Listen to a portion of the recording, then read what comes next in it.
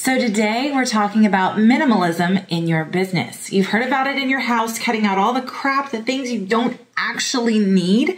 So we're going to talk about that in your business today, how to do it and why it's so important.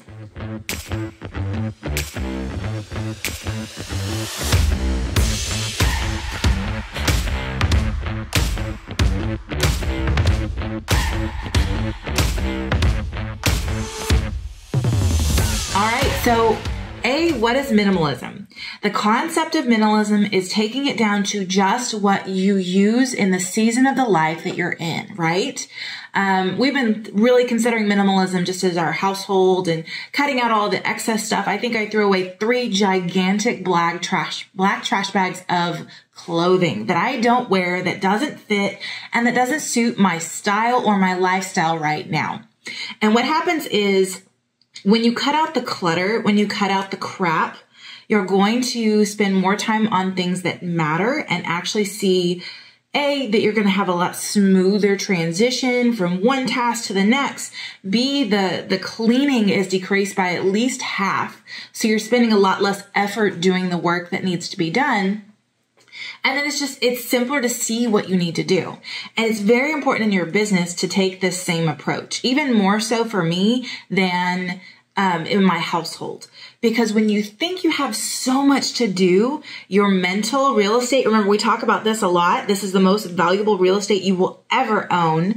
So you've got to protect it, right? So what you need to be doing is working on your mental real estate and eliminating the trash and the clutter and the crap.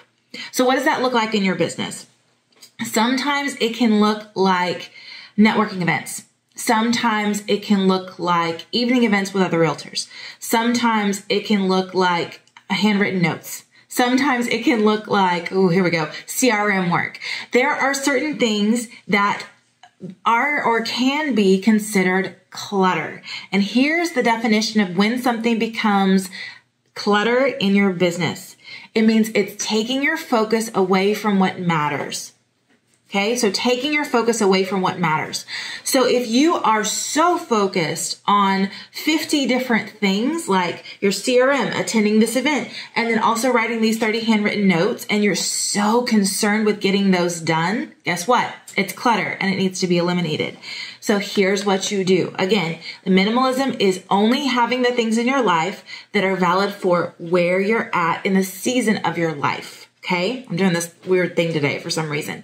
So where are you at in the season of your real estate business? Okay. So if you are at a building point and you're just getting started, there are a few things that are going to be essential to you that you have to focus on. And maybe those networking events with other realtors are not it. But maybe the events where you're meeting people out in the community are the most important thing. So you really have to cut all of the excess crap out of your life and make sure that you're focusing on what really matters. Okay, so maybe you are, maybe you've been in the real estate business for about two ish years. You've kind of got a clientele going. You understand the contracts. You understand how the business works, but you know the market's shifting and you've got to focus on making sure you get enough clients. Okay. So in that case, there's going to be some differences between what you would have found essential two years ago when you were just getting started, which was learning the contracts and understanding the process Maybe uh, continuing education is not as important. You just need to get your basic hours done and get that eliminated. But maybe what you really need to focus on is how to find more clients and how to look attractive to your clients. Maybe it's about building videos and putting a social media presence out there to make sure people know that you are an expert in your field. So you've really got to consider where you're at in the cycle. And maybe you are one of those lucky agents that has been in the business for 10 years.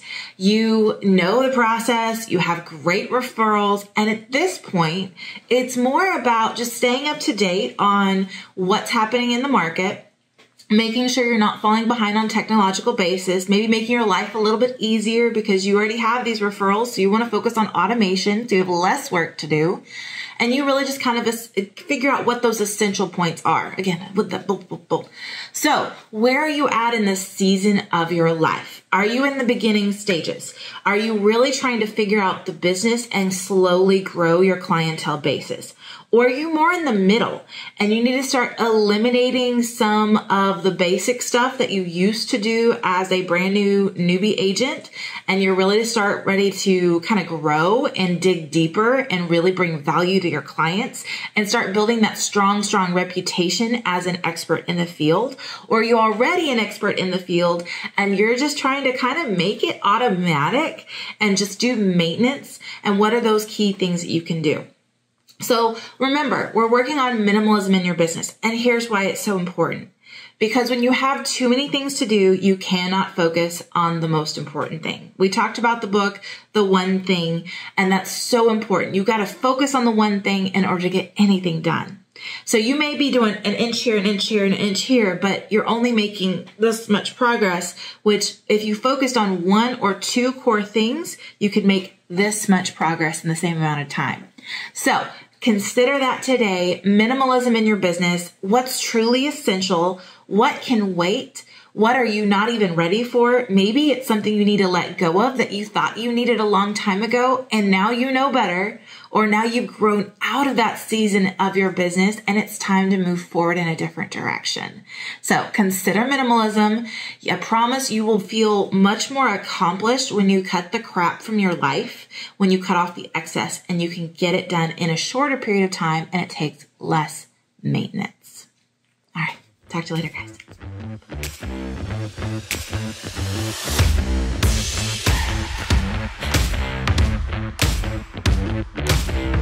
right back.